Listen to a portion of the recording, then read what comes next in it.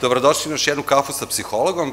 A, hvala vam što ste izdvojili vreme, što ste uspeli da se probijete, što ste ispoštovali sve mere koje smo ovaj, zamolili da ispoštujete da dođete večeras ovde, a i ovaj, tema će, pretpostavljam, biti e, i vama zanimljiva. Ja sam se preispitivao prethodnih dana, jer tema su predrasude i stereotipi, zbog čega ih imamo, i kako da ih pre, prevaziđemo. Mislim da je ovaj, tema jako zanimljiva i možda je trebalo da se ovom temom bavimo i mnogo ranije na kafama sa psihologom, zato što smo obrađivali razne teme koje se tiču mentalnog zdravlja i one su se provlačile i stereotipi i predrasude nekako iz jednog, jednog i u drugi svaki razgovor i bile su sastavni deo o, svakog, svake kafe sa psihologom, ali evo večeras imamo priliku malo više o ovome da da razgovaramo i da vidimo da li možemo tu nešto da popravimo prvo kod sebe, a onda i nekom širem planu. E, dragi gošće večeras ovde, prvo da se zahvalim i Hemofarm fondaciji koja nas je okupila i naravno našim domaćinima iz Dorča placa koji su nam tu o, od početka e, saučesnici u ovom našem poduhvatu da krenemo redom. E sad, e, malo su me devojke zbunile, sele su ovaj, e, drugačiji vredostav od kako, kako smo ovaj, vas najavili u, u predanjima, ali krenut ću ovako. Milica Ninković, ona je doktorant na odeljenju za psihologiju, e, na predmetu psihologija individualnih razlika, takozvani PIR, je li tako, Milica? Pa, doktorantkinja na socijalnoj psihologiji, ali socijalna psihologija. Ali se individualnim razlikama. Tako je. O, zatim, evo, među psiholozima meni je jako drago i uvek smo ovde o, rado razgovarali i sa lekarima, psihijatrima prvenstveno. Doktorka Tanja Vaskrsenski, ona je direktorka o, o, bolnice u Vršcu, Dobro, specijalne psihijatrijske bolnice u Vršcu, šta je specijalno, to ćemo šuti, ali isto tako vi imate ovaj, e, zaista bogato iskustvo u radu i kada govorimo o stereotipama i predrasudama, naročito prema a, ljudima koji imaju neku vrstu tegoba ili problema i to je jedna zaista velika tema. I na kraju koleginica psiholog Đurđe Stojković, koja je, je ovaj, tu i kao psiholog i kao politikolog i kao model, znači, ovaj, što se kaže, žena sa raznim zanimanjima, ali meni je drago kada smo razgovarali da je u stvari sada, poslednjih pa skoro deceniju, nekako tvoj fokus u stvari psihologija i drago mi je da vidim kako se uspela da pomeriš te različite, ovaj, ca različite interesovanja i zanimanja. Dobrodošlo. Dakle, na početku da odmah razjasnimo uh, predrastude i stereotipi, pošto je uh, Milica divno napisala u nekakvom uvodu za ovaj razgovor o tome da inače izgleda da funkcionišemo tako da razmišljamo u kategorijama i prosto da ne bi ovaj, gubili vreme sa svrstavanjem svake pojave ili pojedinca ili nekako dublje njegovo promišljanje, najlakše nam je da ga ovaj, nekako stavimo u određenu kategoriju. Tako da, e, znate, kad, evo, mi sedimo ovde, možemo da kažemo onako baš najstereotipnije govoreći, ono, dosadan tip s naočarima koji žele da se pravi pametan, e, psiholog, lekarka, ovaj, žena sa lepim sakom u, u, u, ovaj, e, sa, u fotelji sa istom bojom i ona devojka tamo koja kažu da je manekinka. I sad, ja sam sad izgovorio gomilu stereotipa. I stereotipi predrasude nas izgleda prate i samo je jako važno da ih budemo, da budemo svesni da tako razmišljamo i da tako funkcionišemo. Na samom početku e, rekao bi da su stereotipi i predrasude možda onako dva stepena e, nekog mišljenja u kategorijama od kojih su recimo stereotipi češći i blaži slučaj, dok su predrasude nešto zbiljnije. Zato te molim Milica da odmah razjasnimo na početku razliku. Da, pa stereotipi, kao što si rekao, su u stvari um, neke naše neosnovane generalizacije osobina, sa, uh, osobina grupe na sve pojedince koji pripadaju toj grupi. I vrlo često, dakle, pre svega neosnovane su zato što je nemoguće da svi pripadnici jedne grupe budu isti po određenoj osobini. S druge strane, vrlo često su i pogrešni. Dakle, to što ćemo mi neku osobinu pripisati određenoj grupi, uopšte ne mora bude tačno. I da, stereotipi su u stvari posledica toga što mi razmišljamo u kategorijama i samim tim, dakle, nekako svi smo im skloni, manje ili više. Deca, dok su mala, usvajaju stereotipe prosto zato što njihov um tako funkcioniše. Posle se, naravno, toga malo oslobađaju, međutim, ovaj, ono, što je, ono što je problematično jeste što to naše razmišljanje u kategorijama u stvari može da, donese, da, da dovede do različitih negativnih ponašanja prema pripadnicima drugih grupa. I tu u stvari nastupaju predrasude. E, predrasude su onako kada, kada na te stereotipe, na tu kategorizaciju i neosnovanu generalizaciju dodamo negativne emocije, onda dobijamo predrasude. One su u stvari e, izrazito negativni stavovi koje mi generalizujemo na celu grupu, a s obzirom na to da su emocije nekako pokretači ponašanja, e, ukoliko imamo predrasude prema određenoj grupi, to dosta povećava verovatnoću da tu grupu i diskriminišemo, odnosno da se na različite negativne načine prema toj grupi ponašamo i onda to naravno može imati posledice po čitavu grupu.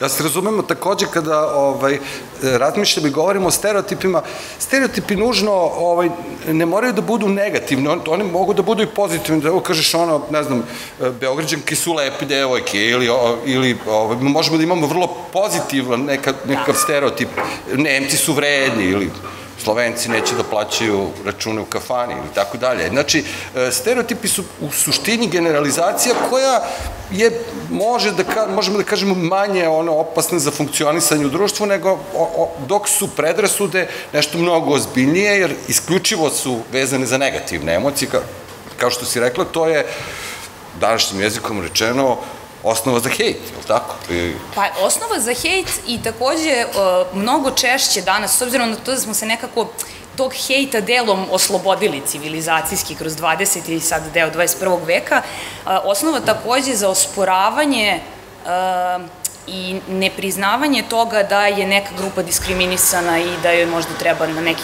da, da treba malo pomoći da iz toga izađe. I onda imate često, recimo, ljudi vole da kažu nema rasizma u Srbiji, I, ali onda možete da vidite, recimo, kad god se pomenu neke afirmativne mere za romsku decu, recimo u obrazovanju, e, da ljudi onda kreću da kukaju i da se bune u stvari, jer kao, pa evo sad oni imaju više prava od nas, pa ne, nemaju. Ovim pokušavamo da im, ovim pokušavamo u stvari da ih dovedemo na, e, da, da, da, da, da, da im pomognemo da se uh, u društvu pozicioniraju no, ravnopravne osnovi. Tako je, da. iako su, dakle, po ustavu i svim zakonima potpuno ravnopravni nama. Tako da, predrasude u stvari mogu da, da nas, ne, ne samo što nas teru, teraju da hejtujemo, nego mogu i da nas, u stvari, um, da nam ne dopuste, da nas spriječe, da primetimo da je određena grupa diskriminisana. Znači, menjaju našu percepciju sveta, društva, apsolutno. A, jedna od društvenih grupa koja je verovatno izložena ili, kažem, potpuno stereotipno, onako prihvaćena, a da kažem i sa mnogo predrasuda, su ljudi sa uh, psihijatrijski uh, pacijenti, ljudi koji se leče u bolnicama, oni su uh, pa o tome smo govorili skoro na svakoj kafi sa psihologom, dakle, i oni su stigmatizovani, postoji neka vrsta i nepoverenja i straha kod ljudi da će da je ta bolest zarazna, evo sad mislim kao kod u priči o virusu, e, postoji ta vrsta straha od kontaminacije ovaj, problem. Tanja, Absolutno. na koji način se, se srećete s tim? tako. Ja moram samo da kažem, baba, za početak, hvala što ste me pozvali, hvala fondaciji što su mu omogućili da učestvujem na ovoj tribini. Ja dolazim iz jedne od najvećih psihijatrijskih bolnica u Srbiji koja trenutno na smeštu i na lečenju ima više od 700 pacijenata. Tako da ja bih pre svega govorila sa nekog praktičnog aspekta kako društvo, kako neduševno obolela lica i lica koje nemaju mentalne smetnje doživljavaju, kakvu percepciju imaju i kakve su to posledice e, kod osoba koji imaju mentalne smetnje. E, osobe sa mentalne smetnja mogu imati anksiozni poremeći, mogu imati depresivni poremeći, mogu imati bipolarni, mogu biti duševno obolela lica, odnosno imaju najteže poremeće kao što su psihoze. Ali, Percepcija našeg društva, to je ta negativna predrasuda, da su osobe koje uđu u veliku psihijatrijsku bolnicu odmah obeležene. Zašto? Zato što mi njih da, doživljavamo. Prvo ih ne razumemo. Oni su za nas nerazumljivi. E, e, oni su za nas e, opasni. Oni su e, osobe e, od kojih treba napraviti distancu. I ono što je nama u našem praktičnom radu vrlo veliki problem, ta stigma, odnosno diskriminacija takvih ljudi, je lečenje koje se sastoji u psihofarmakoterapiji, različitim psihoterapijskim metodama, je važno. Ali prihvatanje društva, je isto toliko važno i omogućavanje tim ljudima da se vrate u neke normalne životne tokove, da nađu svog bračnog partnera, osnovu bračnu zajednicu, da žive, da budu zaposleni, ono što je njima prevashodno zbog samopouzdanja važno, da bude ljudi koji mogu da budu unapređeni u svom poslu, Pa do najobičnijih stvari da iznemite stan i da ovaj, budete prisutni na nekoj manifestaciji je vrlo veliki problem kada e, naše društvo ima percepciju da je neko duševno oboleo lice. Tako da hoću da kažem, e, ta predrasuda, stigma je prisutna svuda u svetu, opšte poznat fenomen, koliko i mentalni poremećaj, stigma postoji od kada postoji i mentalni poremećaj. I svi naši pokušaj, da kažem, psihijatara koji smo delom stigmatizovani i mi kao ovaj, uh, de, uh, lekari, radimo sa takvom populacijom pacijenata ili s takvim uh, ljudima, pokušavali smo različitim, da kažem, edukacijama, tribinama, protestima, pojavljivanjem u medijima da tu stigmu i ta, te predrasude umanjimo. Međutim, moram realno da kažem da su ti učinci su još uvek nedovoljni i mali. Mogu mnogo o tome da pričam, ali možda i da pružim priliku i nekome drugome ili kasnije. Svakako, da, e, svakako dakle, čini mi se da smo i na ovom početku u priči o stereotipima i predasudama praktično i možda zaboravili da dodamo da se i predrasude i stereotipi stvaraju na osnovu nedovoljno informacija. Znači, na osnovu jedne parcijalne informacije, činjenici da je neko pokazao da ima nekakvu vrstu tegobe, e, generalizujemo i stvaramo, mi u stvari dopunjujemo i kategorijom ovaj, da kažem srpski rečeno ludaka, mi o, prosto nalepimo etiketu i tako, tako dolazimo do, tog, do te slike o stereotipu ili predrasu. Ali mogu samo nešto uh, da prokomentarišem, informacije je važna.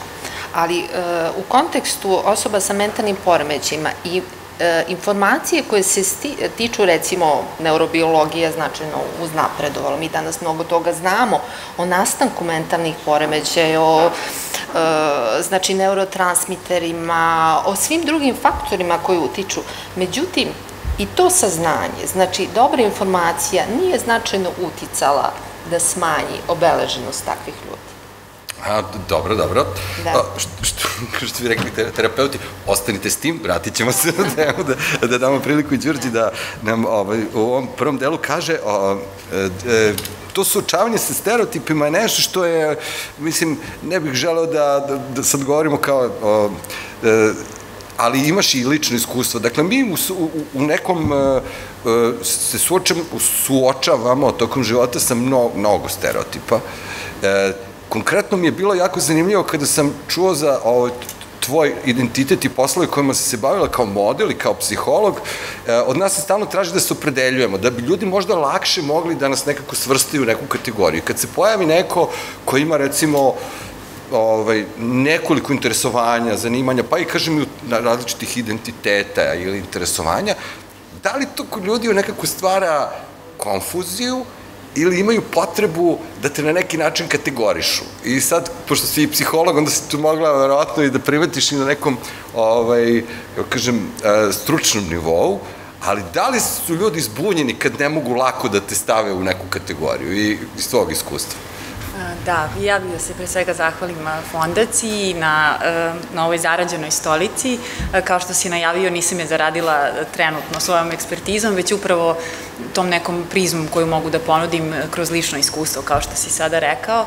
Pa upravo kao što je koleginica Milica rekla, mislim da ljudi uopšte nisu u konfuziji, da nemaju nikakvu kognitivnu neugodu, jer su me oni već odavno stavili u određenu kategoriju i jako su redki ljudi koji će uopšte dozvoliti neki nivo zapitanosti o mom trenutnom statusu. Zapravo, za ljude koji su me upoznali pre 10 godina sam ja manekenka i dan danas kada me sretnu su pozvano, je, ti si dalje u Njujorku, kako je tamo, našto ja odgovorim super, da COVID isto kao i ovde, dok ljudi koji me poznaju u poslednjih 5-6 godina, od kada sam prvo bila student psihologija, sada i psiholog, nekako ni ne poznaju taj moj deo života i ne mogu takođe da pojme taj neki dodatni identitet, što naravno ne uzimam za zlo, već samo govori o ovome što je koleginica na početku govorila, dakle, mi smo bića koja teže da kategorizuju, pojednostave realnost, a to što ja ponekad imam problem sa tim da se svedem samo na jednu stvar je neka moja lična tema i naravno, mislim, jeste priča o kojoj ja mogu da govorim, jeste mesto, na kraju krajeva zbog toga sam večeras i ovde. Uh, kada smo govorili o uh, predrasudama i, i o stereotipima, uh, da li postoji način ili da li postoje načini da se sa njima suočimo prvo na tom individualnom ličnom nivou, a onda i na nekom ovaj, kažem, širem nivou kao društvo. Evo, ja sam napravio, razmišljajući o ovom večerašnjem razgovoru, razgovarao sam sa uh, tinejdžerima i malo starijim tinejdžerima i pitao sam ih, dobro, ovaj, pošto su zainteresovani za temu, da li mogu da se sete nekog stereotipa s kojom su suočili u životu i na koji način su uspeli da prevaziđu taj stereotip. I sad, recimo, klasična situacija na, u Beogradu jeste da dođete, recimo, u srednju školu iz jednog dela Beograda u drugi. I recimo, ako ste došli s Novog Beograda, mlađi sin mi je rekao da kad je došao na Vračar, ili kako on kaže Vračar Historical, malo su ga gledali i rekli kao, u, ovo je s Novog Beograda, mora da je neki taf. I kaže, namerno sam sedam dana tako nisam se baš nešto previše otvarao da, da bih ovo malo video kako će da reaguju ljudi prema meni, ali uobičajena slika je ako si ti s dolazi neko s Novog Beograda, znači on možda ima onako, možda će da te mlatne ako ga iznerviraš ili ovaj, sigurno možda malo manje novca imaju roditelji nego ovaj, i to su, ne, deca fantastično mogu da odrede kategorije.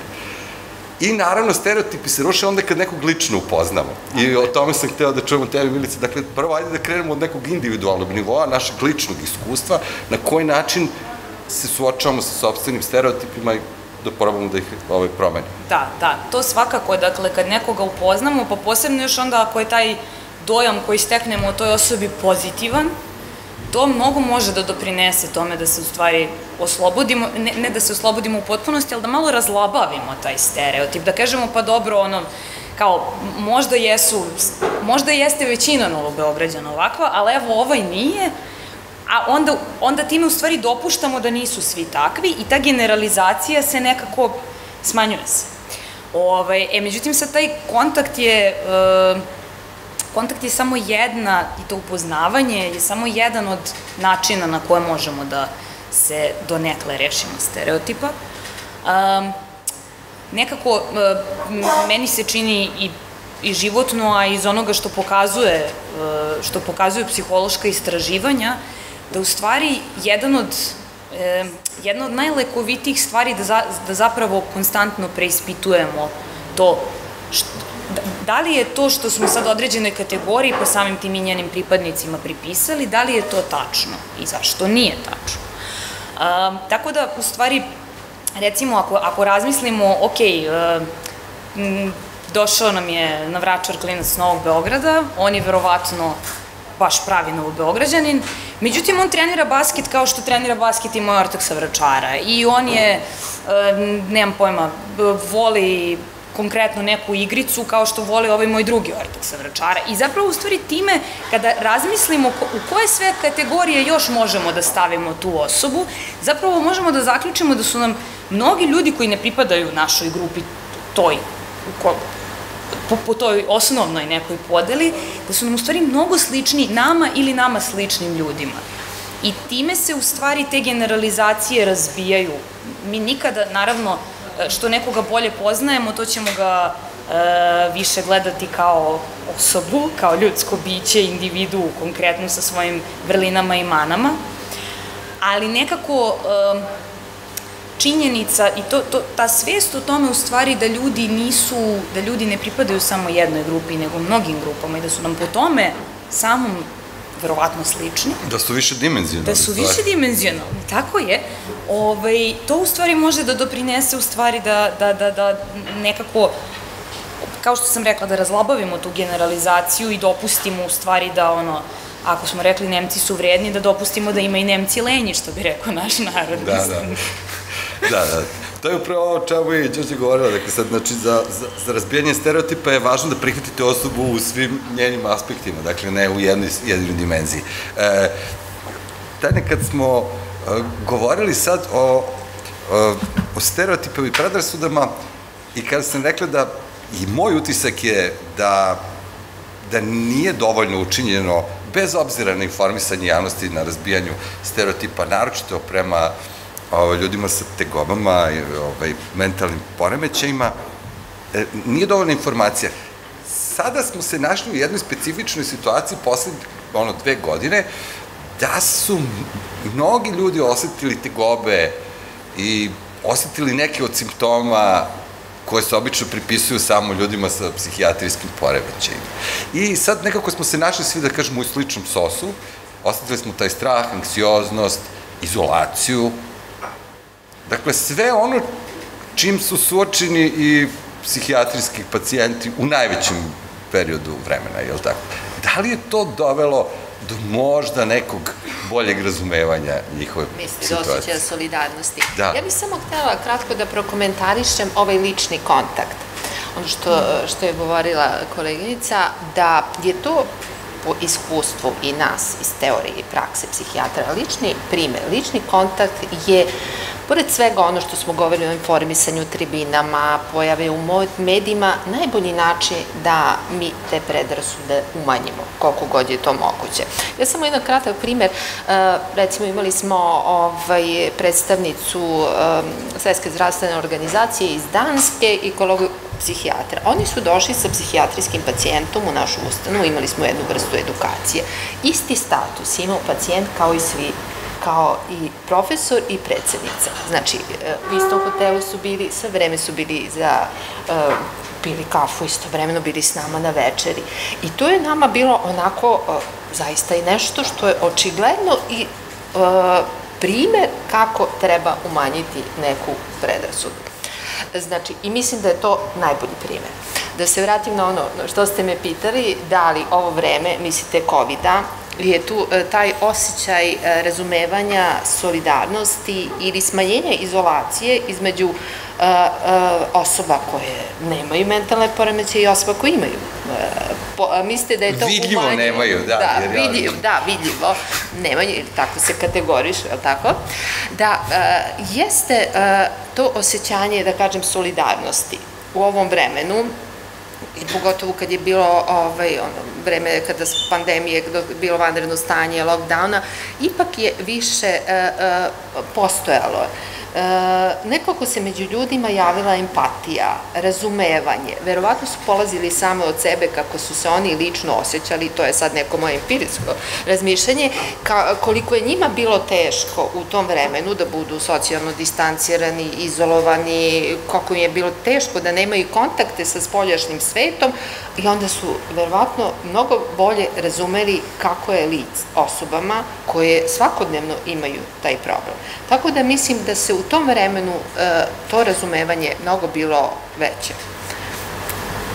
Znači, čim je počela vakcinacija, zaboravili smo na solidarnost. Pa dobro, tu su počele podele. Tu su ponovo počele podele, da. tu su počele podele i, i razne druge teorije, da. Ovaj, ja sam htio sad i ovaj, da tebe da pitam, Đorđa, na koji način se manifestuju a, predrasude e, sa kojima se suočavala. Evo, ja sam razmišljao, ovo što je govorila Milica, pa mislim da je to neka stvar kojom se svakodnevno prispitujemo. Evo, poslednji primer, moram da kažem, evo, znate kao, bit ću potpuno iskren, ovaj, jedna, jedne predrasude, u stvari stereotip, nije predrasuda, pre, stereotip je. E, nedavno sam čuo kako se pokrenuo jedan program o finansiranju e, inkluzivnog obrazovanja u Srbiji, što je divna stvar. Doći će neki novac, bit će obučeni nastavnici da bolje rade sa decom koja je potrebna pomoć ili neka vrsta asistencije, škole će da dobiju neki novac za opremu i tako dalje. I onda sam ovaj, video nekoliko primera škola u kojima dobro funkcioniše inkluzija. Znači, to je potrebno pokazalo se tokom godina da je potrebno da u školskoj upravi postoje ljudi koji imaju osjećaj i neku vrstu senzibiliteta i, i senzitizovanih da budu za taj problem i onda ta škola lakše prolazi kroz sistem inkluzije. Vrlo slična situacija kao stigma prema ovaj, pacijentima ovaj, u psihijatrijskim bolnicama. Jedan, jedan od najboljih primjera u Beogradu je druga ekonomska škola, čiji je direktor futbolski sudija Nedić, koji je jedan od mojih omiljenih likova na televizijskom ovaj, prenosima utakmica, koji čovjek onako komentariše suđenje.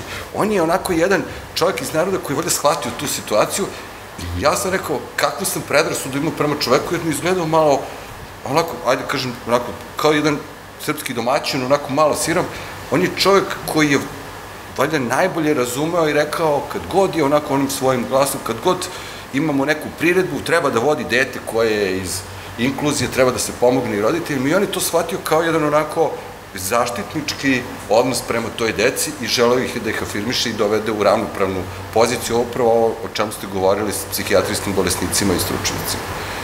I moram priznati da sam se uveo za jezik i rekao sebi, jedan stereotip koji sam imao, znate, o ljudima koji se bave futbalom, ili futbolskim sudijima, ne bi baš očekivao da imaju veliko razumevanje prema inkluzivnom obrazovanju. Moj problem.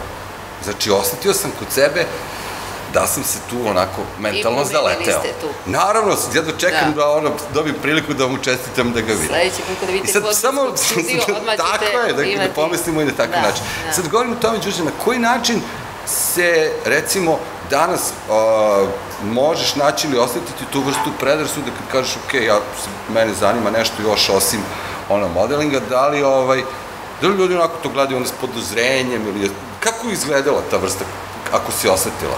Pa da, mislim, prvo ne bih uh, volela da ni u jednom trenutku iko pomisli da se stavljamo u istu grupu sa najranjivijim grupama o kojima ovde i pričamo. Znači, koleginica Milica je pričala o Romima, uh, govorimo o pacijentima koji koriste usluge mentalnog zdravlja. Moja priča nije toliko dramatična i teška i zaista mi je žao što umesto mene ili bar pored mene ne sedi neko od pripadnika, ajde da kažemo, te grupe. Sad, da li bi ih to dodatno kategorizovalo, da, ali u svrhu da nam se približi cela ova ideja, ali verujem, mislim, znam da na ovim tribinama generalno oni, i do, ne oni, ali da ljudi sa različitim dimenzijama postojanja dolaze, tako da tako i prihvatam današnje ovo svoje postojanje.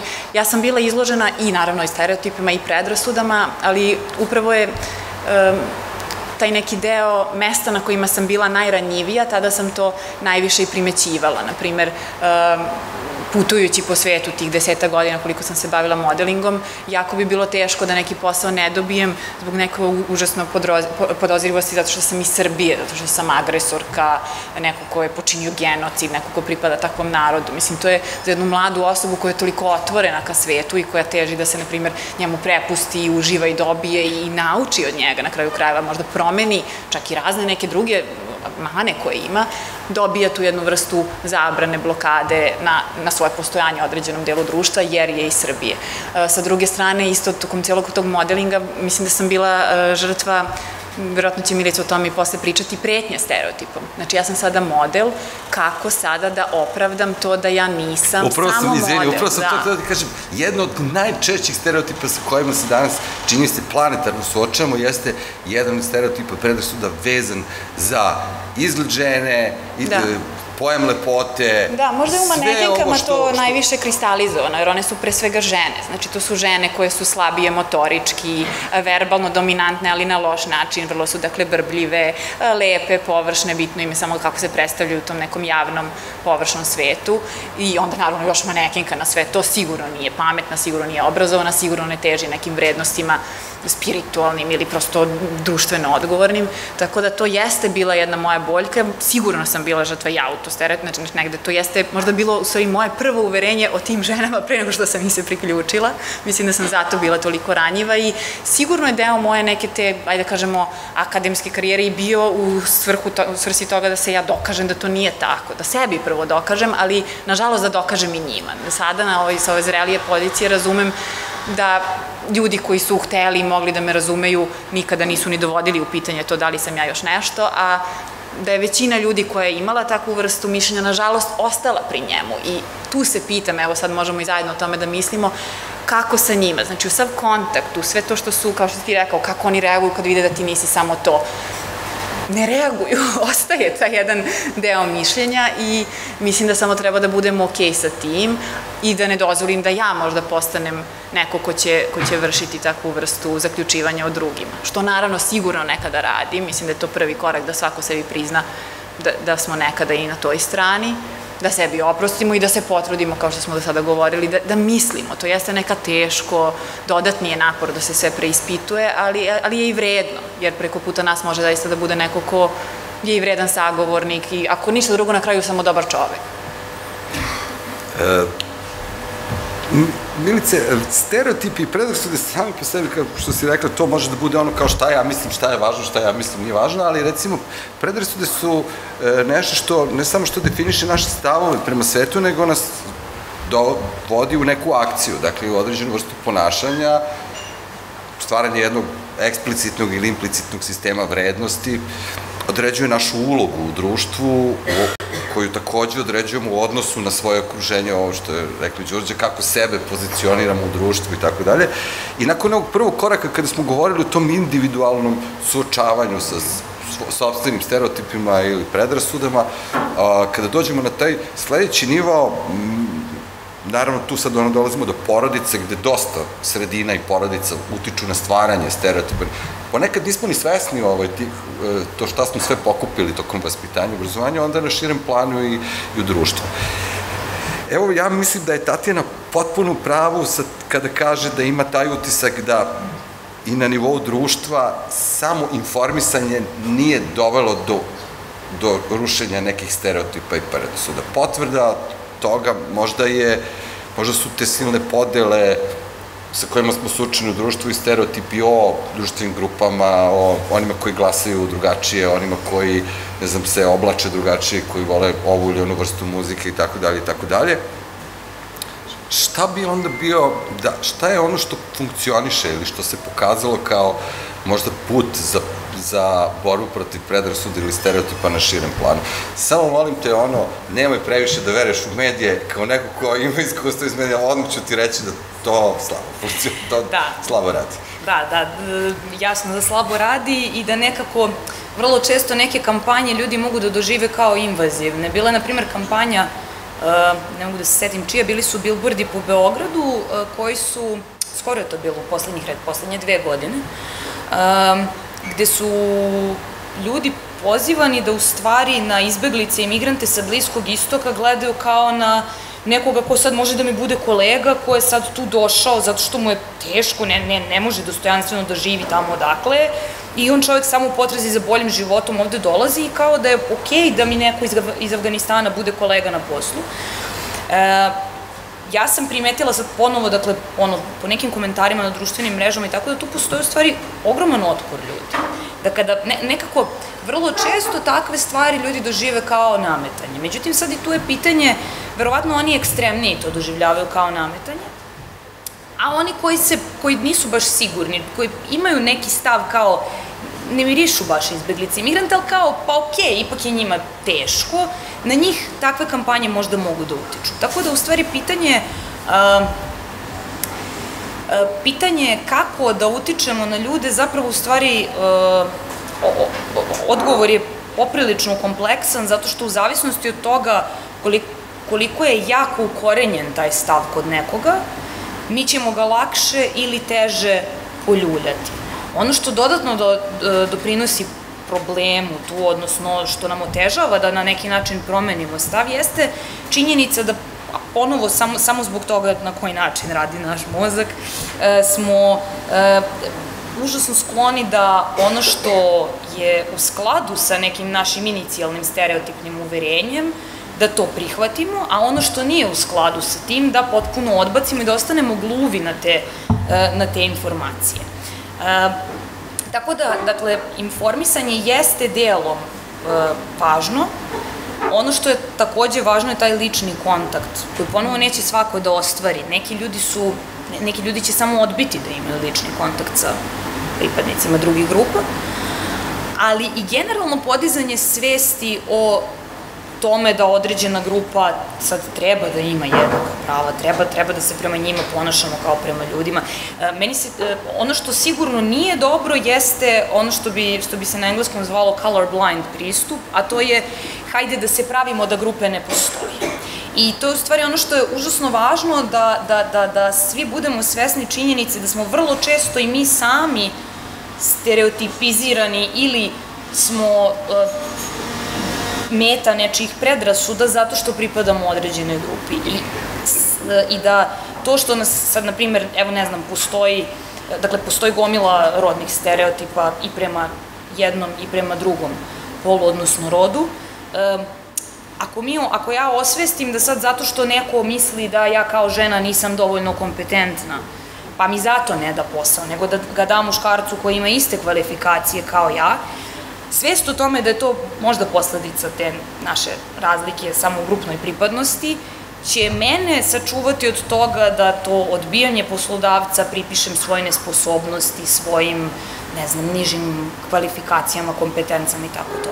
Tako da, u stvari, je, e, veoma je važno da e, tu podelu, podelu, odnosno činjenicu da je svet na neki način organizovan prema po kategorijama, važno je da je ne izgubimo iz vida, važno je da budemo svesni da smo vrlo, da, da vrlo često je neko samo zbog svoje grupne pripadnosti na neki način diskreditovan.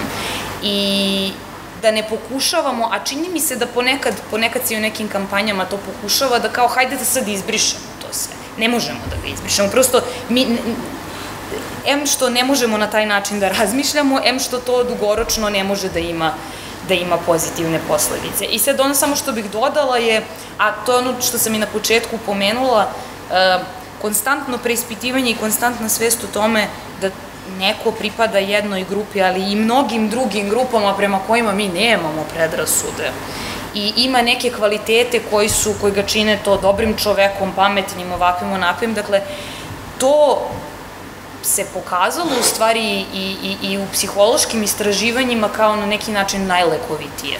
Mm Da, da, da. Znači, ta vrsta pristupa ovaj, prevladavanju razlika. Uh, sad, psihijatrija uh, je, ja sam onako zapamtio jednu priču još sa fakulteta o zlatnom dobu psihijatrije u Jugoslaviji, takozvane socijalne psihijatrije, koja je ovde bila spravodena još u vreme te kako danas gledamo, stara Jugoslavija, ona se zasnivala na tome, da kada smo dolazili recimo na praksu po Almutićevu, e, objašnjavali su nam da, da je to samo deo procesa rada sa ljudima koji imaju tegobe, da je jednako važno ta socijalna mreža koja se stvara u okruženju pacijenta, u porodici, u tamo gde živi, na njegovom radnom mestu i to je jedan britanski model, kako se sećam, koji je bio ovde primenjivan ovaj, upravo zato da bi se nekako izbjeglo izolovanje čoveka i svođenje na to da on ide kao na remont, kao automobil u bolnicu, da ga pustite iz bolnice i da će on sad nastaviti da funkcioniše savršeno kao da se ništa nije desilo. Čini mi se da se ta socijalna podrška i ta mreža, zahvaljujući mnogim i tranziciji i promeni, ovaj, izgubila e, i ovo kada danas govorimo o predrasudama i stereotipima, naročito prema mi se ponovo vraćamo na tu priču o podršci. I ova kampanja koju radimo na Salomivi je manje više povratak na to da je potrebno ostvariti tu vrstu podrške prema tim ljudima. Eto, pošto je, da, apsolutno tako kako ste rekli, socijalna psihijatrija, deo psihijatrije je jako važan u rehabilitaciji naših pacijenata.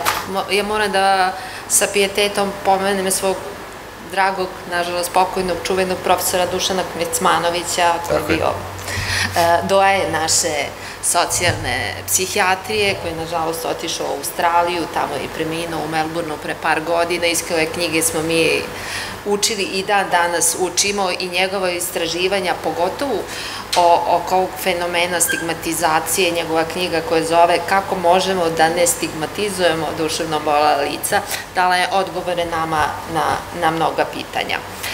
Ali uh, samo sam htela par reči da kažem, pošto smo govorili o medijima, i da kažem ono, uh, neko moje mišljenje, uh, vezano za o, o čemu govorimo, o stereotipima, predrasumadama i stigmatizaciji, nama su mediji jako važni da bi promovisali određene ideje, da bi bili dostupni društvu, awareness kampanje su nešto što mi stalno radimo, taj proces buđenja društvene svesti, ali mislim da način izveštavanja medija je jako važan i da moramo poraditi po edukaciji u tom smislu, jer kada na naslovoj strani Crna hronika izađe nasilničko ponašanje, ubistvo ili nešto slično tome, ili kada neke dobronamerni izveštaji, da ne pominje koga sve to, ovaj, u smislu kako je tortura u našim institucijama, kako su loši uslovi, mi se ne možemo posle oprati od e, stigmatizacije i svih tih posledica takvog izvaštavanja.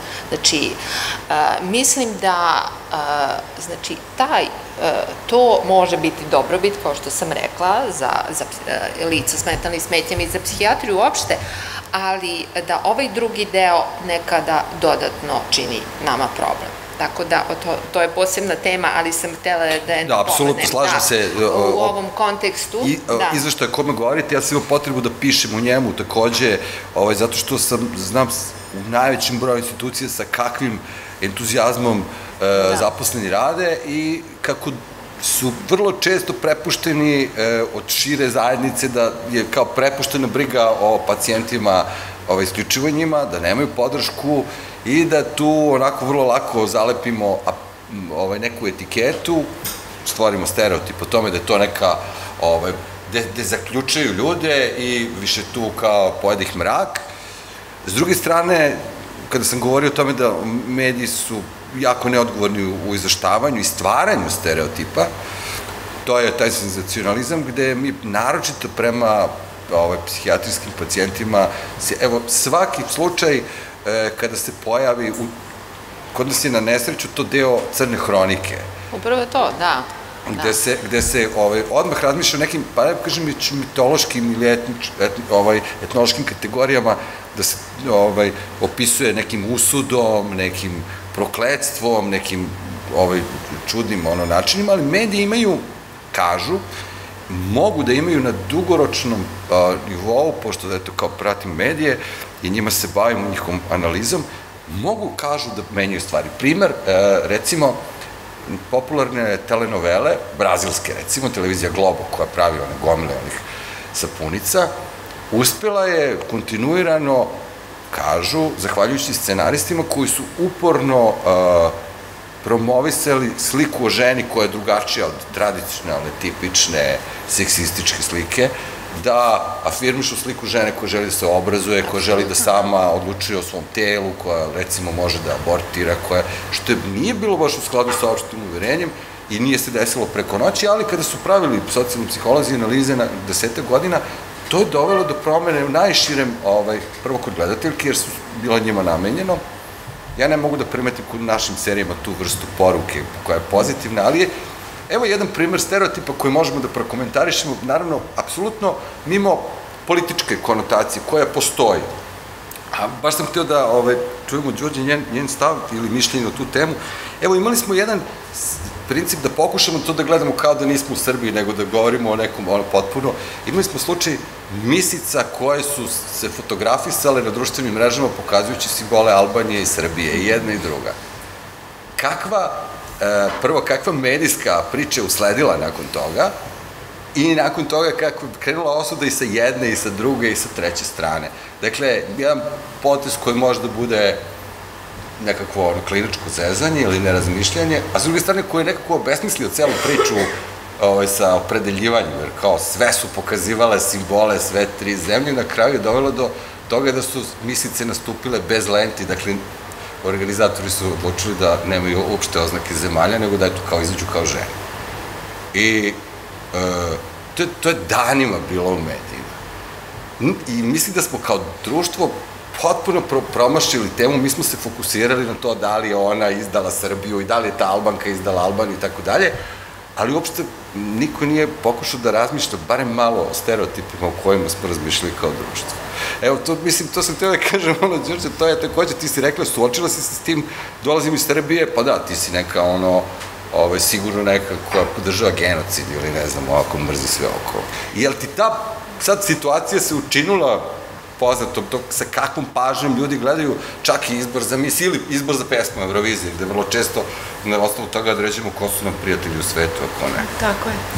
Pa da, e, znam u kom članku, članku, ajde da ga tako nazovemo, o kojoj vesti govoriš i na kom tabloidnom portalu je izašla. Mislim da je ključna reč, reč tabloidnom, jer ciljna grupa tih tabloida jesu ljudi koji možda pripadaju najviše onoj grupi najekstremnijih u svojim shvatanjima, znači možda neko ko je neutralniji čita i neki drugi ne tabloid, dok određeni ljudi prosto čitaju samo tabloide, ne bi ih sada imenovala. Sećam se kada sam, nisam pročitala vest, tako da mi je teško da dalje pratim, ali razumem šta se desilo. E, samo sam pomisla kako je to jedan pokušaj da mlade žene iz različitih delova sveta koje su se tu okupile pošalju neku poruku, pa onako na najčizi mogući način, jedinstva, mira u svetu. Znači, to je inače poruka mislim, misica. Jeste, pa jeste, ako ćemo da ih stereotipiziramo i smemo, možemo da kažemo, pa da, baš su lepo se našali na svoj račun i na račun te kao drevne e, šale o njima a dobile su naravno ono backlash, dobile su ogromno, ogroman progon uh, delova javnosti, ali ono na što bih ja vratila, što me negde iskreno jako zabolelo i mnogo sam o tome pričala i na i na svojim nekim društvenim mrežama i generalno među prijateljima, malo pre toga se desila vez da je jedna od modelsica, znate svi ko su mm -hmm. modelsice, to su znači pevačice koje su se predstavile kao neke manekinke, da je jedna od njih hospitalizovana. I baš to, modelsica da. završila, zaključana, vezana, u lazi. Mislim, tu je jadna žena, tako da. karakterisana, da. Laza je karakterisan kao, znači Laza Lazarević ustanova je karakterisana kao neka ustanova gde će vas zaključati posle koje vam nema da. povratka. E, hvala ti na ovo prvo, da, tu, tu, naslovi su bili bilo. katastrofalni, dakle tu se onda nakalemilo na to, e, to da je žena, da je lepa, da je bila modelsica. A sad je propala. A sad je propala. Da je sigurno koristila psihoaktivne substance, substance. što ide uz taj modelsica Pa je onda deo. bila referenca to, ono, poludila je, pa da, ali ona je bila posledica, ne znam koje, ono, vladajuće da, stranke, pa je tu kao da išla i politička priča. Dakle, tu je stigma išla na nekoliko nivoa, kada se pokušao da, da, da, da, da onako razbene šta se zaista desilo, u stvari se desilo ono što je bilo najnormalnije moguće. Njena majka je potražila pomoć ono, jer je shvatila da on ima ozbiljan problem. Što bi mogla da bude preporuka svakom ko oseti da imate gobu, da ode da se javi u instituciju. Taj njen odlazak tamo je u stvari prikazan kao nekakav da. vrhunac ludila i to je ovo čelo da. pričate. Da. I sada, neko ko hoće da ode da potraži pomoć, da, uzimajući u obzir sve to, on će do, vrlo razmisliti da li će to otići u lažu da potraži pomoć. Da. Da, da, laza je prijetnja. Da, da. Što ne bi trebalo da bude, to je jedno od nekog... otići negde gde, gde neće biti označene, tako, da ode, da li ću neku privatnu ordinaciju ako ima mogućnosti, negde gde neće biti stigmatizovan svojim dolazkom. Ili će da se krije činjenice da imaš problem, što je da. što još, će ga uvećati. Još gore. A ne samo ovaj pojedinac, nego i čitava porodica. To je ono što možda nismo rekli. Neće samo pojedinac biti uh, uh, označen predrasudom, stigmo. Znači, šire, čitava njegova porodica je tu već evidentirana kao neko ko je preteća, da kažem, predrasuda, jer vi znate, genetika je nešto što je prisutno u svim mentalnim bolestima. Pod lupom će biti i čitava porodica u tome, da, i dodatno oberažena. Da te, dakle, imali smo nekoliko propuštenih prilika, zato, zato mi se plašim da i nemam veliko poverenje u medije e, kada se govori o, o, o kažem, smanjenju predrasude i stigmatizacije to. Da, i imali, mislim, evo sad baš vezano za način izveštavanja medija, kao nije, nije vezano za, za mentalno zdravlje ili za korisnike psihijatrijskih usluga, ali ono gde, gde mediji zapravo mogu da naprave ogroman, u stvari da, da na neki način indukuju, ljudi, indukuju ljudima osjećaj prijetnje, um, mi smo skoro radili neku analizu vezanu za to kako se izveštava o izbjeglicama i migrantima. E, kad je počelo vanredno stanje, znači u martu 2020. bio je ogroman broj naslova u tabloidima um, migranti divljaju Beogradom u vreme dok smo svi zaključani. Migrant uradio ovo, migranti opljačkali, ubili, silovali. To su sve, onda kad pogledate celu vest, vidite da, se, da uopšte nije jasno, to je NN lice. Znači, nigde se ne pominje da je osoba zapravo ovaj, da, kao, nigde se ne pominje niti etnička pripadnost osobe, niti šta je onda zaključiti u stvari da niko ni ne zna ko je ta osoba, ali to nekako baš bila zgodna etiketa. Evo, mi, evo hajde čega ćemo da se plašimo, pa migranata. I to je, e, to kod ljudi indukuje užasan osjećaj pretnje, logično, jer sad kao vi razmišljate o tome, ok, sad postoji čitava jedna populacija koja mene može da povredi mene ili moju grupu, ali kao može ozbiljno da mi naškodi. Isto je i, mislim, može da se povuče paralela sa ovim, dakle, ako ljude koji imaju Eh, koji imaju probleme sa mentalnim zdravljem prikazujemo kao ludake i kažemo, evo, ne znam, otključana ludnica, evo, svi ludaci izašli napolje, dakle, to indukuje ogroman osjećaj pretnje. Iz takve vrste pretnje, odnosno iz, iz osjećanja da smo, da, se, da smo sad mi na neki način ugroženi od strane cele te grupe, predrasude užasno lako nastaju, a onda je to naravno okidač za diskriminaciju za razne aspekte diskriminacije i onda u stvari samo, samo još produbljuje ceo problem. Uh, to je ovaj, e, vrlo, mislim, bilo karakteristično u susretu sa tim grupama, što manje o njima znamo, to je taj strah bio veći. Da. Sećam se da smo vrlo često morali da dobijamo, ja mislim, iz komisarijata, tamo ništa drugo nisu radili, nego pisali te demantije da realno najveći broj incidenata vezanih za migrante se dešava među samim migrantima zbog sukoba na različitim ono iz drugih ono međusobnih ovaj sukob. Najmanje zabeleženih primera je bilo prema domicilnom stanovništvu jer oni su se trudili da da kažem što brže odu iz Srbije. Ali se sećam svedočenja tih kao opisa uplašenih, pa se onda napravi anketa na televiziji na tu temu i on kaže, znate, ja treba da prođem recimo pored ekonomskog fakulteta noću i nije mi sve jedno, vidim ljude tamne puti, koji govore nepoznat, nerazumljiv drugi jezik, druga kultura i ta, taj strah postoji. I to je, čini mi se, bilo onako kao arhetipska slika straha od nekog nepoznatog. Još to je to, o kome apsolutno ništa ne znam. Jeste, s tim što je taj strah, znači trenutak kada ja prolazim pored grupe muškaraca koji ne govore moj jezik i ja ne znam da li oni trenutno razgovaraju o tome kako bi mogli da mi ukradu novčanik. Ajmo stereotipno ponovo, dakle, da mi ukradu novčanik ili da me napadnu. Um, taj strah nije potpuno neopravdan, za, upravo zato što postoji ogromna količina neznanja, dakle kao mi ne, navi, naviknuti smo da kao uh, znamo šta ljudi oko nas govore, pa samim tim ono, ako, ako govore o nama primetit ćemo to. Ovaj moment neznanja je veoma važan, ali ono što je takođe važno je zašto takva stvar ide u medije. Dakle, taj strah, to je neki strah sa kojim se mi intimno suočavamo ili ne suočavamo, ali nema razloga da se na taj način u medijima govori, zato što prosto postoji gomila drugih aspekata o kojima možemo da govorimo. A nekako mi se čini da je, baš u ovom kontekstu, to bilo veoma ciljano da bi se... Izazvao taj... Da bi se izazvao da, taj da. dodatni osjećaj prijetnje, da se ona nekako nafilu. Jeste, da se dodatno poveća. Um, ovo je stvarno ovaj, priča u kojoj ja se plašim teško da ćemo moći da na kraju e, ispadnemo mnogo pametni da damo neko rešenje ili neki lek. Doktorka, pretpostavljam da je lek ovaj, nije baš pa, tu.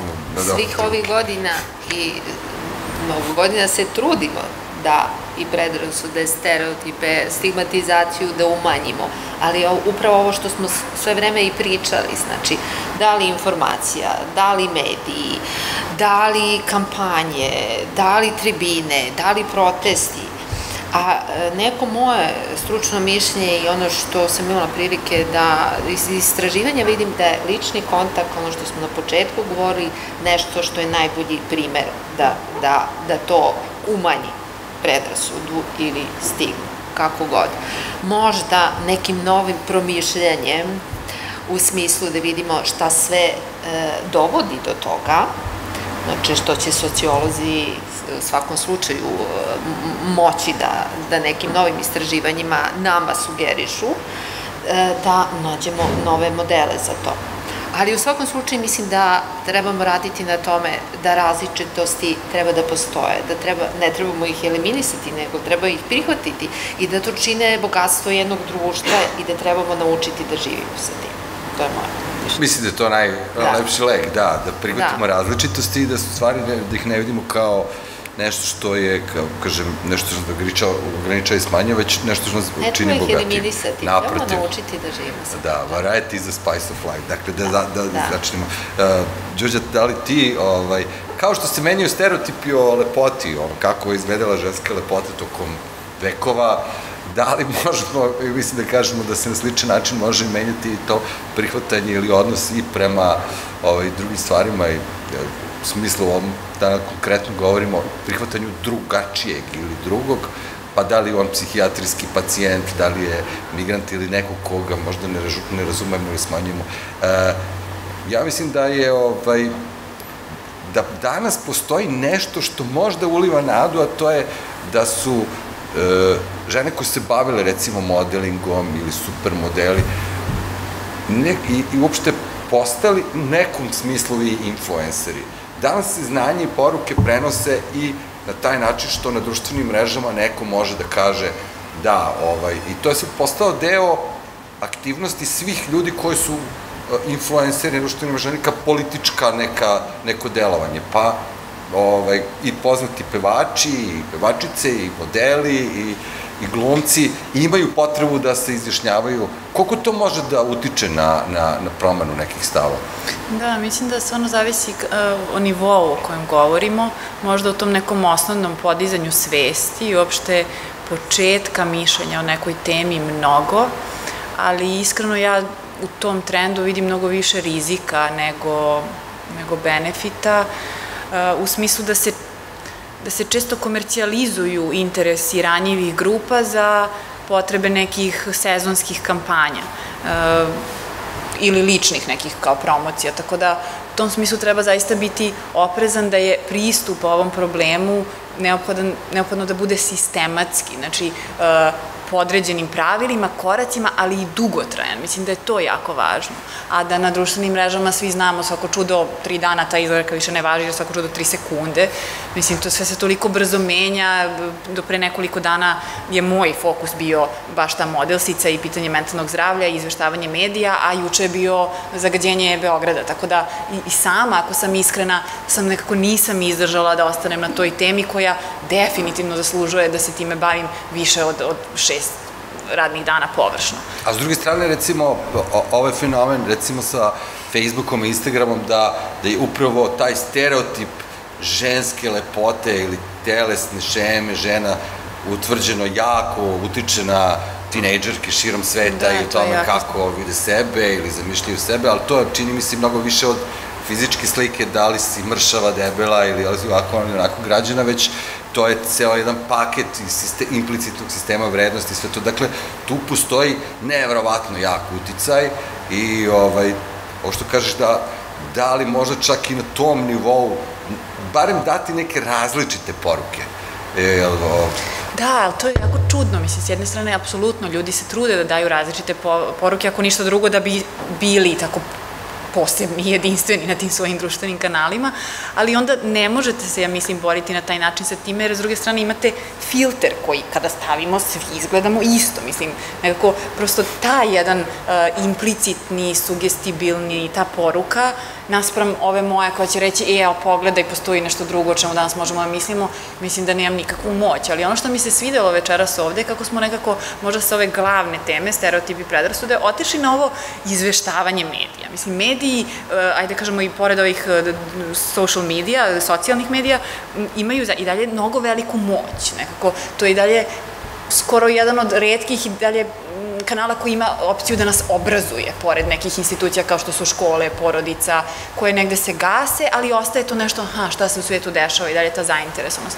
Tako da želim da predložim Fondaciji Hemofarm da sledeći ciklus bude možda kafa sa psihologom i novinarima, da, da oni budu obavezni posetioci i gosti uh, ovih tribina, jer stvarno verujem da, ako ćemo biti pošteni večeras, da i među njima zapravo ne smemo generalizovati i postoji mnogo jako odgovornih, etičkih, etičnih pojedinaca, uključujući da, tebe. Da, neko se govorilo da glumci i novinari piju, tako da... Ta, Eto, ali menjaš, menjaš i ti se danas boriš sa stereotipom. Hvala. E, I, ovaj, da, za sam kraj moram da kažem, a, a, ovo što si rekla, a i negde se nadovezujem što govori Milica, je, video sam jednu anketu nedavno koja je rađena sa srednjoškolcima u Beogradu, znači selekcionisan uzorak, to su deca koji su vrlo e, digitalno pismena, kao i mislim, sve mlađe generacije, ali ovde vrlo posebno i u, tim, kažem, najelitnijim beogradskim gimnazijama, kada pitate te mlade ljude koji je osnovni izvor informacije za vas danas u svetu, e, mi kada govorimo o digitalnoj pismenosti, obično smatramo i govorimo o tim, naš, traženje po internetu, da li to sad ono googlovanje ili... Ne, društvene mreže. Ali to potpuno onda menja sliku u stvari. Dakle, mi danas znanje dobijamo preko neke osobe koje nam saopštava kao nekad, ono, učitelja, influencera, da, obojena lična. ali društvene mreže baš zato imaju ogroman potencijal. Dakle, da. na primjer, da. evo baš kampanja Nesalomivi koja je na svim društvenim mrežama, koja iskače, dakle, svako malo mi iskoči sponzorisani post koji kaže, e, okej okay je da pukneš, okej okay je da ti nije dobro, okej okay je da potražiš pomoć. Uh, ok, ja svakako nisam, nisam neko koga bi to trebalo da targetira s obzirom na profesiju nekako, nekako već dovoljno znam o tome, ali sama ta poruka gde je, e, gde mi neke stvari sistematski normalizujemo, ljudima koji o tome možda ne znaju mnogo, je uh, jako je važna i mislim da u stvari tu društvene mreže mogu jako, jako pametno da se iskoriste zato što imaju ogroman potencijal. Uh, eto, ako je to možda ne, neki zajednički zaključak uh, da batalimo klasične medije, možda su ipak ovaj savremeni da, načini. Samo da dodam, znači, određene životne grupe, ali tako, prate uh, društvene medije, socijalne mreže, ali recimo starija životna populacija ipak dominantno gleda televiziju ili sluša Tako radio. Je. Tako da, znači, fokus ako budemo radili u nekom smislu ovaj, edukacije, informisanja, onda moramo voditi računa i o tom životnom Nije se desilo ako nije bilo na televiziji, tako? Pa, tako je. Ipak ova starija populacija, yes. uslovno rečeno, ovaj, da, odnosno starije životnog doba, mislim da dominantno ovaj, gleda TV medije. Pa evo da Milicu zamolim da kaže, ovaj, da li su predrasude i stereotipi, ako sam dobro razumeo, ovaj, rezervisani samo za o, manje ili više obrazovne, ja, ja sam potpuno siguran da stereotipi predrasude možete da nađete ono, u svim delovima društva čak i u to, kako vi ste rekli, samo proklamuje eliti, ja sam najvećem tvrci da prepoznam ko, ko, jer svako za sebe misli, veliki broj ljudi misli za sebe da je elita, Jel to istraživanje pokazuje? E, da, u stvari ovo pre svega pokazuje na to da niko nije imun na stereotipe. Dakle, e, to je baš dobra jedna potvrda činjenice da svi u nekoj meri gajimo stereotipe prema određenim grupama, samo pitanje koliko se koliko se trudimo da se ponašamo u skladu sa tim stereotipima ili ne. A, e, dakle, sad samoproklamovana intelektualna elita, e, ja bih rekla da i oni, baš kao i ovi pankeri iz pomenutog primera, njima je to što su oni elita bitno. Tako i pankerima to što su oni pankeri vrlo važno. To je važan deo onoga što zovemo socijalni identitet. Njima je to, dakle, to, to je neka grupa sa kojom se oni izrazito identifikuju i koja je prosto važan, ta, ta, ta pripadnost toj grupi je važan deo njihovog ličnog identiteta. Samim tim će biti spremniji da ove koji su drugačiji na neki način odbacuju. odbacuju, diskriminišu i da se ponašaju u skladu sa stereotipima koje prema njima imaju. Dakle, niko nije imun na stereotipe niko. i predrasu da apsolutno ste u pravu. Pa u stvari jako malo uh, jako malo naše lične osobine utiču na to da li ćemo imati stereotipe ili predrasude, to jest jedno i drugo, i da li ćemo se u skladu sa njima ponašati. E, mnogo je važnije ovo što sam u stvari u odgovoru malo pre na pitanje pomenula, to je taj socijalni identitet. Što više grupa mi uključujemo u sobstveni socijalni identitet, odnosno sa što se više grupa identifikujemo na neki način, to će i naši stereotipi biti labaviji i bit ćemo, bit ćemo otvoreniji za različitosti i spremniji da prihvatimo druge, bez obzira na to što nam možda nisu, što, što se možda od nas razlikuju čak i po nekom nama bitnom aspektu. Ne postoji, ne postoji jedinstveno rešenje za to, ali mislim da je, e, da je već sama svest o tome da, da možda i mi gajimo neke stereotipe, pa onda e, razmatranje toga, čekaj, da li sam se sad, da li sad ja ovu osobu na primer, ne volim ili a priori odbacujem zato što je ona deo neke grupe o kojoj ja imam loše mišljenje ili zato što ta osoba zapravo meni ne odgovara kao osoba i ja prosto s njom neću da se družim. Dakle, to je neki neki model, ali jedinstveni, jedinstveno neko pitanje koje bismo sad uvek postavljali ne postoji. Važno je da, da, da stalno iznova iznova preispitujemo to da li smo se prema nekome ponašali na određeni način zbog njegove grupne pripadnosti ili zato što je on kao osoba to tome doprinao. Ključ je preispitivanje. Da. Tako je, da, da, ja sam se rekao, u životu najviše plašio ljudi koji su apsolutno sigurni da su u pravo i da su, da je to šta misle o nekom jedino tačno. E, evo, da iskoristim e, primer koji smo čuli danas, a recimo jedna od naj kategorija prema kojoj je najveća socijalna distanca, kako to kažu psiholozi, prema kojima smo nekako naj, to su recimo migranti. Najbolji primer koji sam ja video kod nas u medijima jeste, o, jesu slučajevi kada su neka od dece bila unutar školskog sistema u Srbiji, kada su deca u školi imala priliku da idu u razred sa decom, u ovom slučaju su to bila deca migranti, e, i e, Da s druge strane, to znači inkluziju u onom smislu deci i socijalno ugroženih kategorija Romi.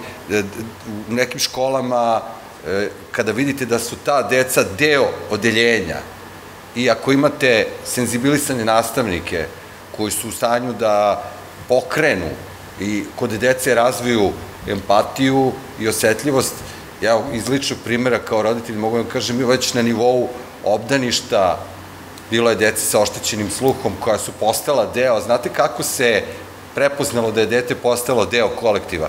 Kad počnu da ga zovu na rođendan, a do taga nisu zvali. Ili kada romsko dete dođe na rođendan e, u osnovnoj školi i kada, recimo, sam bio srećan kad sam vidio da u pismenim sastavima u drugom ili trećem razredu na temu neko bez koga ne mogu da zamislim moje odeljenje, u razredu mog sina od, ne znam, 25 učenika, 20 piše o drugarici Dragani koja je živela u jednom romskom nasilju u Novom Beogradu. Znači, tu je učiteljica uradila dobar posao. Ima naravno bezbroj primjera da to nije bilo tako, gde su ta deca getoizirana, znate, na, postoje škole koje zovu ciganska škola, gde recimo tamo idu samo romska deca i ne mešaju se. Tako da je to odlično pitanje i formalno odluke našeg obrazovnih sistema jesu takve, ali u kojoj meri su još nastavnici spremni da to zaista sprovedu iz različitih razloga, uglavnom se sve svodi na entuzijazam i motivaciju prosvetnih radnika. Postoji zakon, postoje propisi, ali koliko su oni spremni da se angažu kao i u nekim drugim situacijama. Po meni i na građanskom i na verskom obrazovanju bi ta tema bila u stvari potrebna i u jednom i u drugom slučaju, ali već sama činjenica da vi deci od osnovne škole u prvog razreda terate da se podele na one koji idu na versku ili na građansko, kao da je nespojivo da budete građanin i vernik, što je bizarno i gre pogrešno, duboko pogrešno. I ovaj, eto, ta, to je recimo prvi korak, vi kad ste rekli nastavi psihologija, ja mislim da je ovo tema već za prvi razred osnovne škole, dakle, kroz celo obrazovanje, ako ne i ranije u prečkolskom uzrastu. Te Tako. teme jesu deo kurikuluma građanskog jesu. vaspitanja. Formalno samo, jesu, da. Ali formalno, pitanje na koji način se sprovode u da, delu. Da, da. E, možda još nešto ako želite? Pa ne, da... samo eto, mislim, meni se isto dopalo ovo poslednje pitanje naročito, baš zato što ukazuje na tu potrebu da se sistemski pristupi skoro svakoj vrsti problema o kojoj pričamo, a onda usledi taj osjećaj deprimiranosti gde sam svesna koje su se prepreke tom jednom sistemskom rešenju ovde. I dobro, da završimo na pozitivnoj noti male da, enklave ljudi koji misle. Porodica, da.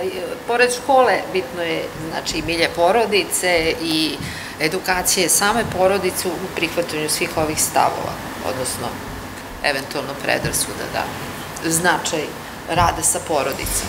Hvala što ste bili večera sa nama, dragi gošći vama hvala. Nadam se da ćemo se ponovo vidjeti još neko kafi sa psiholozima u još boljim uh, uslovima sa manje, ovaj, kako da kažem, uh, ovih epidemioloških mera e, i uh, eto, to sledeće prilike. Još jednom hvala ljudima iz Hemofarm fondacije i iz Dorču placa.